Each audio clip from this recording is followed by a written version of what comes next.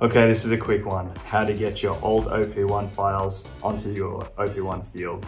Uh, maybe this is something that everyone knows about already, but I couldn't find too much on the internet about it. Uh, and a few people told me that you couldn't do it, but you can. What you need to do is convert your old OP1 files, so they're AIF, to 32-bit WAV files. They need to be PCM, not float.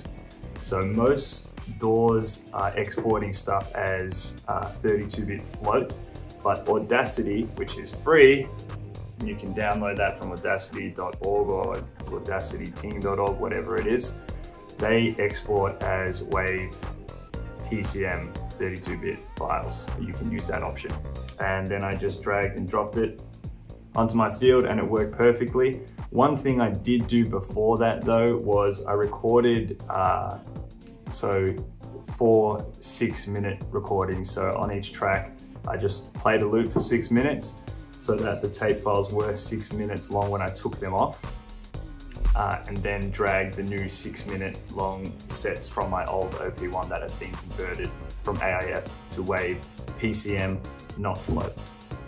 Hope that helps.